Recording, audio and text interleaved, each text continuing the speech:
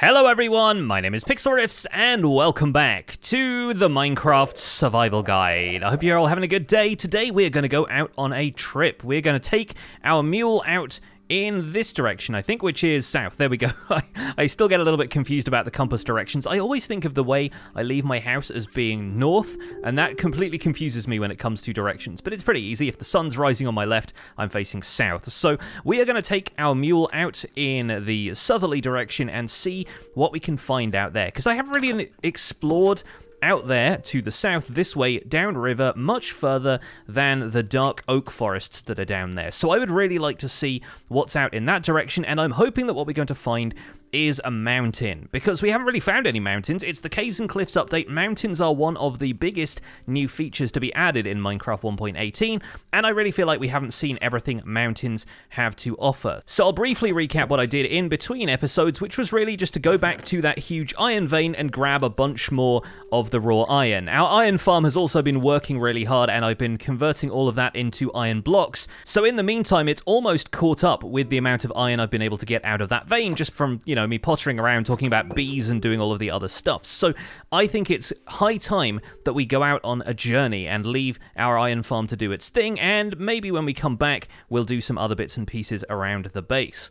But for this episode, we're going to saddle up Viola, and I'm going to put a bed in Viola's inventory so that we can sleep if we need to on this journey. And I think the first thing I'm going to need to do, actually, is craft a boat, because we'll need to head downriver. Now, I have a habit of calling some of the hills around here mountains just by shorthand, and I think that's probably a habit that I've developed from playing Minecraft for the longest time when mountains weren't really a feature. There were things called Extreme Hills, which ended up getting renamed to Mountains at some stage because Extreme Hills is a bit of a silly name, I think. But at one of Minecraft's previous live events where they announced the theme of a future update, they also allowed the community to vote on which biomes would be changed in future, and Mountains won that vote, and that's really what led to the Caves and Cliffs update being a thing at all, because they decided if we're going to have a massive cave update, we might as well update Mountains at the same time and change the terrain of the entire world. And so that's really what we're looking at right now. And this right here, this river valley, is pretty steep. So on either side, we kind of have a little bit of mountainous terrain. And over here, actually, if I can get up on top of this tree, whoa, Viola, there we go, steady on, girl. Now we have a look at one of the more common mountain biomes. These can kind of level out into plateaus, but you see over there where the grass is that kind of like minty green color and there's a lot of flowers all in one place, that is a meadow biome. So let's hop on down here, let's get Viola across the river, and let's ride up into the highlands to take a look at the meadow biome in person. There we go, we're onto the plateau. Took us a couple of jumps, but we got there, and if we weave our way through this birch forest, we should emerge onto the meadow. And isn't it beautiful? Very alpine, very kind of sound of music kind of vibes the whole way around. So in meadow biomes, you'll find a great deal of flowers everywhere, and it's usually just one or two types of flowers, but each section of the meadow can have its own kind of monoculture of sorts. And over there, you can see a bunch of alliums growing up, which is actually our first chance to get a look at alliums. There are a bunch of different flowers in the game, all of which will produce different colors of dye, and alliums will give you a magenta kind of color. Normally, before this, you'd only ever see them in flower forests. Viola is wandering off getting a little bit familiar with the meadow, and we should be careful not to get her confused with the local donkeys, who will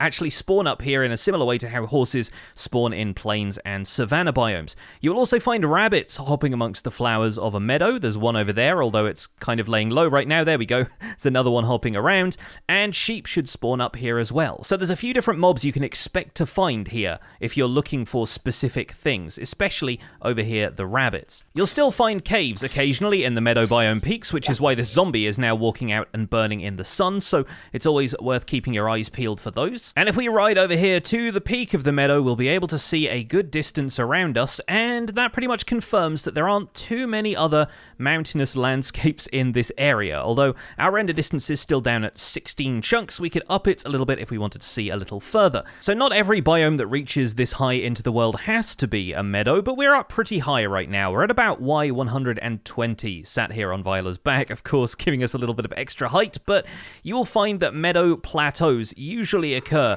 around this sort of height, and you'll find that plateaus like this can generate on their own without being attached to taller mountain biomes, because there are a variety of mountain biomes that we'll find as we explore the world, including some which can reach all the way up to Y256, which used to be the world height limit before it got increased for this update to allow people to build on top of the new taller mountains. We're going to sleep for the night here in the meadow, and in the morning, we're going to grab a dandelion.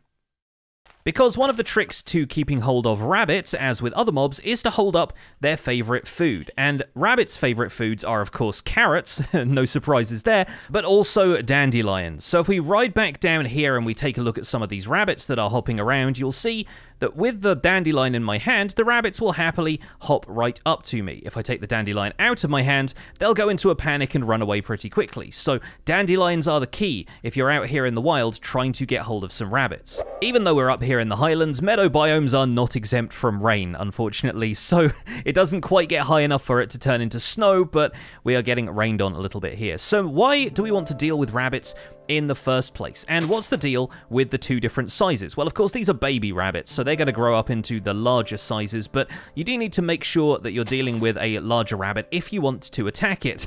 and of course, they scatter as soon as I take the dandelion out of my hand. Well, one way we can get around that is if we hold the dandelion in our offhand, because then we can still hold a sword in our main hand, and the poor rabbits are going to be chopped pretty quickly. And when the rabbit hops up to us, we can attack it with a sword. And thankfully, we only have to kill one rabbit because it's dropped all of the possible things a rabbit could drop. So there we go. Sorry, folks, had to do it. We get raw rabbit from that. We get rabbit hide, which you might have noticed some of the leather workers asking for in their trades.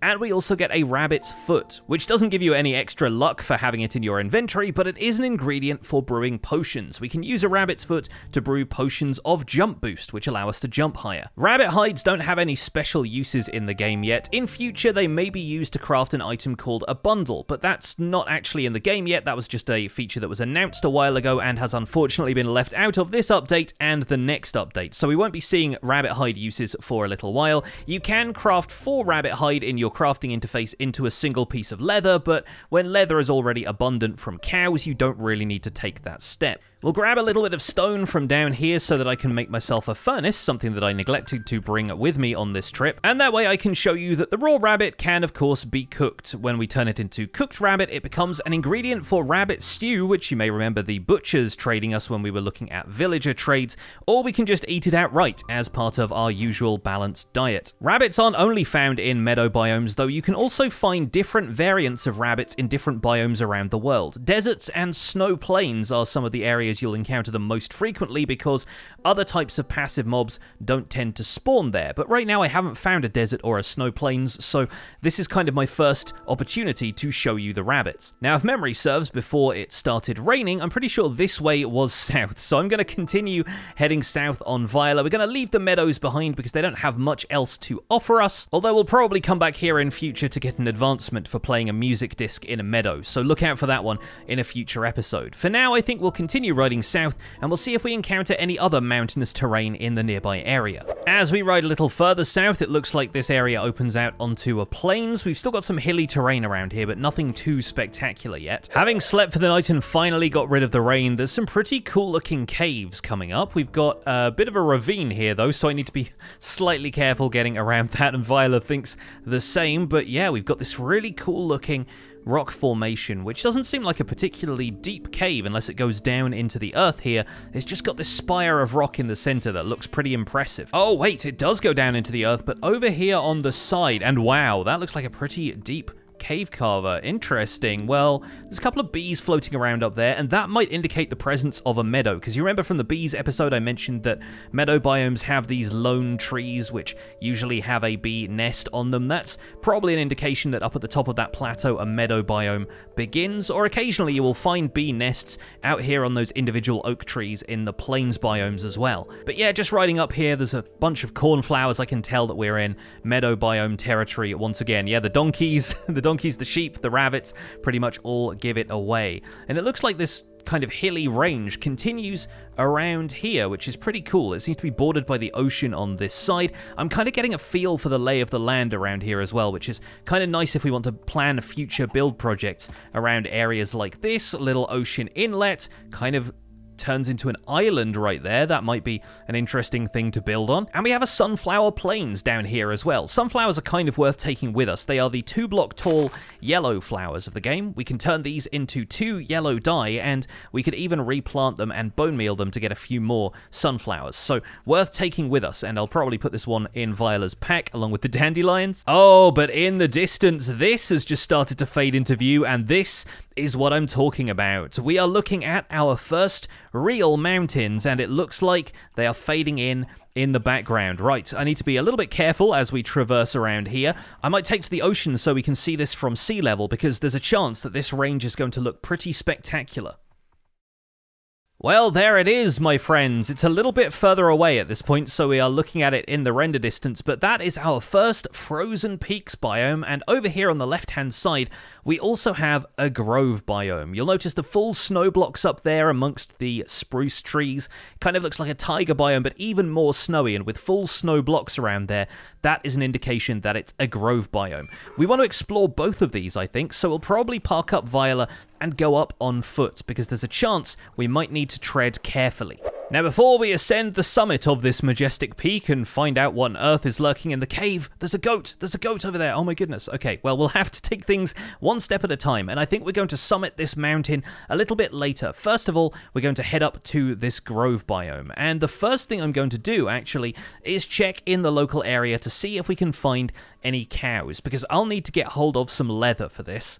And naturally, I'm finding every animal but cows. I'm finding sheep, I'm finding pigs, I'm not finding any cows anywhere. So in the end, I decided to leave Viola over there, backtrack to the sunflower plains where I'd last seen a couple of cows, and we're just going to take out a couple of these, hopefully get enough leather. Yes, there we go, we have four leather. So we're going to use that to craft some leather boots, which are going to make it slightly easier going up on the snowier slopes of that grove. But we'll head back there first, and I'll explain what I mean. And for those of you who are exploring this world yourselves, these mountain biomes are about 2,000 blocks south of spawn, so this has been quite a journey, but our journey is really just beginning. Let's hop up the side of this hill. This would be kind of rough going with Viola because of the amount of trees, and we'll step out into an area on the lower slopes of this snowy grove. And we'll see these snow blocks all around us everywhere. These we can actually shovel up and they turn into snowballs. And from there, we can either throw the snowballs, which is not going to do any damage to anything except some of the more fiery enemies like blazes, but it does have a couple of other uses. We can also craft the snowballs back into snow blocks, and if we had a Silk Touch shovel instead of a Fortune shovel, we'd be able to get the snow blocks themselves. We'd also be able to pick up the snow layers around here, which can be destroyed with a regular shovel for one snowball each. But if you get hold of three snow blocks and you convert those into like a slab formation, you end up with six snow layers layers, which you can place on the ground and even pile up, with each snow layer taking up an eighth of a block like that. So you can create some quite interesting and dynamic snow formations, and this is our first time really encountering snow, so it's kind of cool to see it in person. now, when you're traversing a snowy area like this, though, it pays to be a little careful, because there are some blocks around here which are powder snow. Powder snow is a little bit more dangerous than the regular snow blocks, because you can become trapped in it and fall through it, and at that stage, it really helps to have the right kind of footwear. Now in this case it seems like we've got kind of lucky, or unlucky considering I wanted to demonstrate this. We don't have a whole lot of powder snow, but you see this bee here? you see how it was kind of sunk into the block? That is an indication that in front of us is some powder snow. There is a very subtle texture change between powder snow and the regular snow blocks, and we'll try and zoom in here, but it's really quite difficult to take a good look at it. Basically, the powder snow blocks have a slightly more pixelated texture than the regular snow. Regular snow is very white, very kind of clean, and powder snow just looks a little bit more grainy. What happens when you walk onto powder snow, though, is that you will sink into it, and you'll notice this frosty vignette starts to creep in, your field of view shifts a little bit, and suddenly your hearts will freeze over and you'll start to take a little bit of frost damage. So powder snow is actually a trap block that you can sink into, and if there is a deep enough drift of it, you find yourself sinking into the blocks entirely. Once your hearts freeze over like that, you will start to take A point or two of damage similar to drowning or being set on fire, just a little bit slower. There are a couple of ways around this. Of course, you can dig your way out, and by shoveling a block of powdered snow, it will break and not drop any snowballs, which is another great way of testing for it if you're worried you might get stuck in a snowdrift. It's a little bit difficult to escape, though, as you can see, so you'll have to shovel yourself a little quickly if you want to make sure you can get out. Another way is to pour a bucket of water in the area, because water will destroy blocks of powdered snow. As you saw there, it destroyed a few of them, and it might even destroy some blocks further down the slope as it just pours its way down there. It might be a little bit awkward, you might end up pouring the water all over yourself in your attempt to escape, but it's a good method if you've got a bucket of water on hand to escape freezing to death in a powder snow trap. If you have an empty bucket with no water in it whatsoever, it's also possible to pick up a block of powdered snow in a bucket. You can't obtain it using Silk Touch or obtain it in the traditional sense by just mining it with a tool. You have to collect powder snow in a bucket, and like other substances in buckets, it can only occupy one inventory space. You can't stack it at all. So you'll find that moving powder snow around is a little bit of a task, and we'll look into ways we can farm powder snow in future so that it's easier to get hold of a lot more of it. But the final thing you can do is wear leather boots, and with leather boots you'll still walk into the powdered snow, but they keep you warm enough that you don't have to worry about it. In fact, you can even rise up through powdered snow if you're wearing leather boots, and you'll get an advancement for walking on the surface of powdered snow with leather. You get the light as a rabbit advancement. Because leather boots are a safe way of traversing these environments, and if we end up in a snowdrift like this, you'll see that my vision is gone completely, but if we hold the jump button, we'll rise up to the surface the same way we do with scaffolding or in water or anything like that. It's also possible to hold shift and go down into the powdered snowdrift so you can see exactly how deep it goes, and in some cases like this, you'll end up in a cave. Probably not a good idea to do that, though, because chances are the cave might be a lot deeper than you expect, and I'm very lucky that I've only fallen through into a 4 or 5 block space. That wasn't planned at all, by the way, so incredibly happy that I didn't end up falling to my death here. Placing a torch in here, you'll notice, has started to melt the snow layers around here, and snow layers will melt if they're exposed to adequate amounts of block light. We should be able to hop our way out of here if we make our way up into the powder snow, and there we go, we can just hold the jump button so we're out. And I think we're probably going to sleep here for the night. Cold though it may be, hopefully our bed is warm enough that we can sleep. Powder snow also has a different kind of sound when you walk on it, which is one way of detecting that it's there. Another way I've found of detecting powder snow is to look for the presence of snow layers, which, aside from underneath trees where snow layers won't form at all because the tree has caught all of them as they generated, you'll find that snow layers do not form on top of powdered snow. So it's usually a good idea to stay on the areas which are occupied by snow layers, and if you spot an area where the layers start to disappear,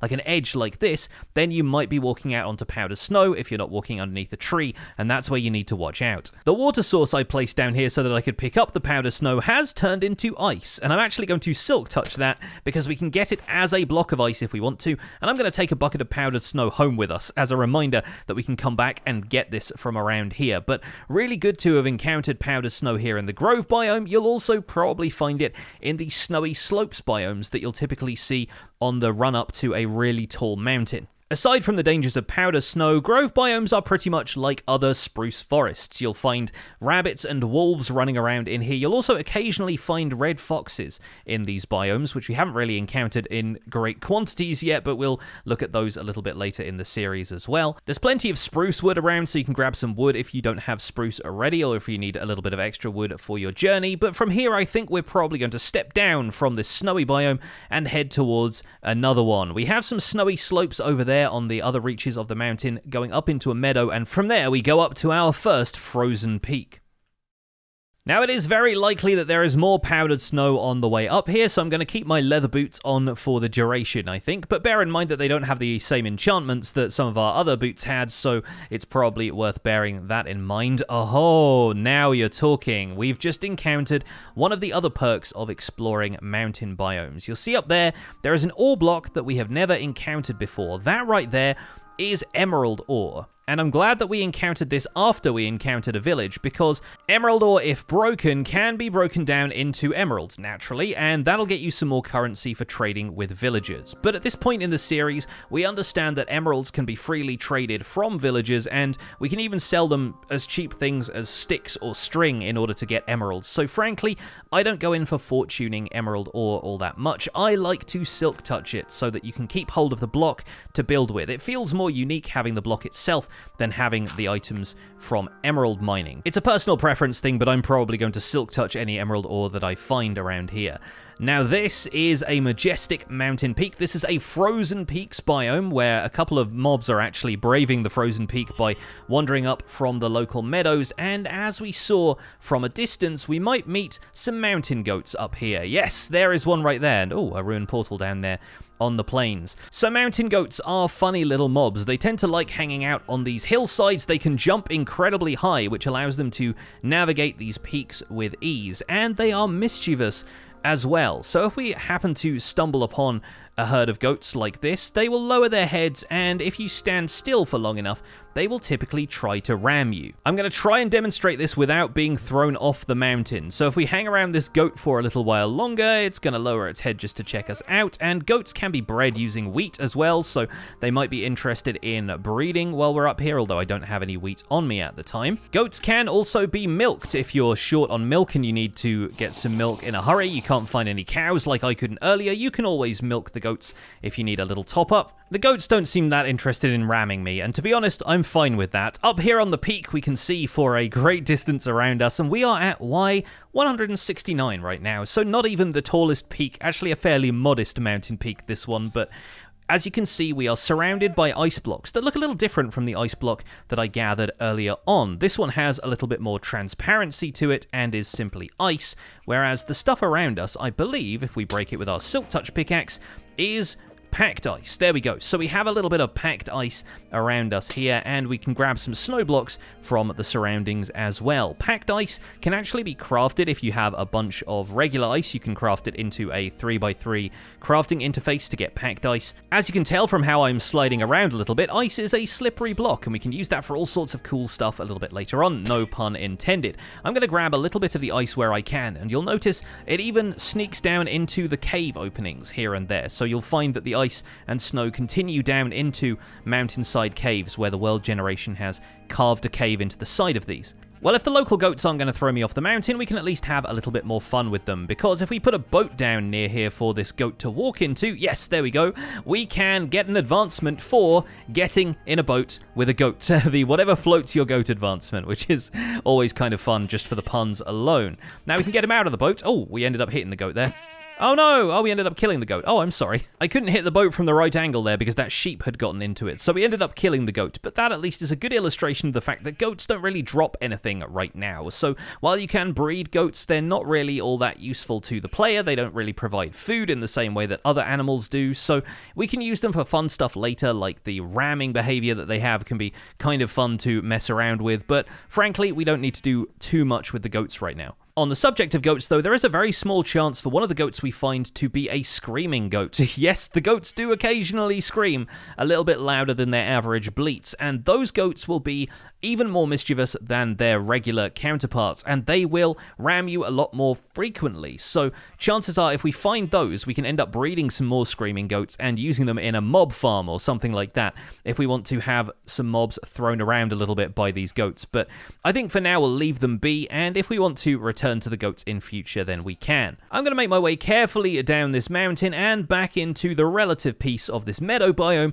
so that I can go and check out the ruined portal over here and see what's up. Hmm, let's see what we've got in here. A little bit of obsidian, all right. I don't mind tucking that one away for another nether portal some other time, but it doesn't seem like we have any extra gold blocks or anything like that around here, so probably best if we leave it alone for now. So our majestic mountain peaks here have been conquered, and honestly weren't the largest example of mountains I have seen. We will probably look around a little bit more to see if we can find something bigger, but for now, it's good that we've at least found one of these frozen peak biomes. There are three different kinds of peaks to mountains depending on the temperature of the surrounding biomes. So naturally around here we've got meadow biomes which are naturally a little bit more cold and we're in a plains biome around here the rest of the time so that's formed a frozen peak here. There is a potential for jagged peaks to form, and these look kind of jagged on their own, but the jagged peaks will be made out of stone and they'll come to a lot of different points in a single range of mountains. So there's a lot of really cool variation in some of those. And finally, there is a stony peaks biome where the summit is much more likely to be made out of stone and other materials like granite and diorite than it is to be covered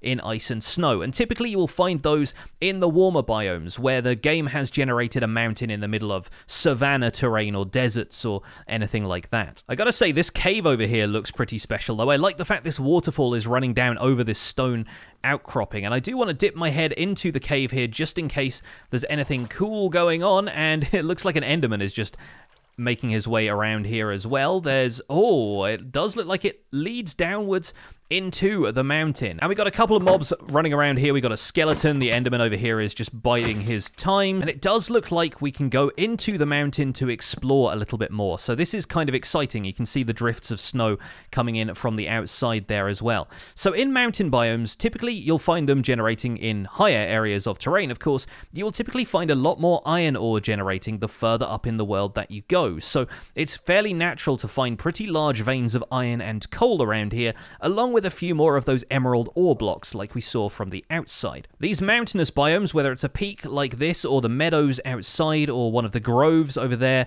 as well, these are the only biomes where you can find those emerald ore blocks, making them one of the rarer ore blocks if not necessarily in how many of them generate, just by the fact that they are limited to this small range of biomes. And technically speaking, with the exception of occasional interruptions by lush caves and dripstone caves, a biome will continue from the height of the world all the way down to the bottom of the world. So you'll find that even if you dig down to deepslate level in this biome, it's still technically counting it as a meadow or a, a snowy slopes or a frosty peaks or something like that, even when you get down to the lower regions of the world.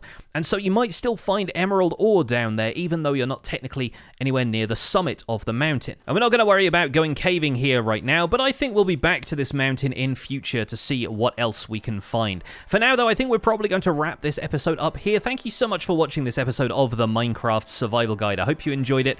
Good luck finding some of those mountains in your own worlds. For now, thank you so much for watching. My name has been Pixlriffs. Don't forget to leave a like on this video if you enjoyed it. Subscribe if you want to see more, and I'll see you folks soon. Take care. Bye for now.